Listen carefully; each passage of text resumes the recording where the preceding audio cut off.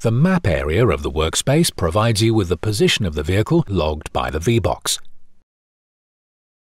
You can zoom in and out or pan around the map area to take a closer look using the tools labelled in the menu or by clicking and holding the left mouse button and dragging over the selected area.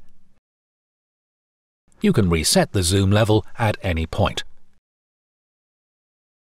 The scale at the edge of the map can either be shown or hidden, and you can choose between a plotted background or satellite aerial view. The Center on Vehicle option allows you to keep the vehicle in the center of the map and is the default view when in online mode.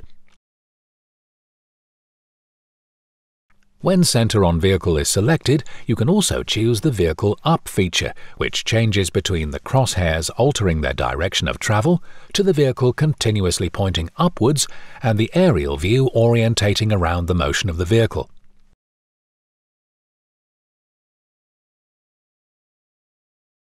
A vehicle overlay option has been added to the software to allow you to input the test vehicle's dimensions and overlay this shape on top of the crosshairs, giving you the ability to visualize the position of the vehicle during the test and instantly see separation distances.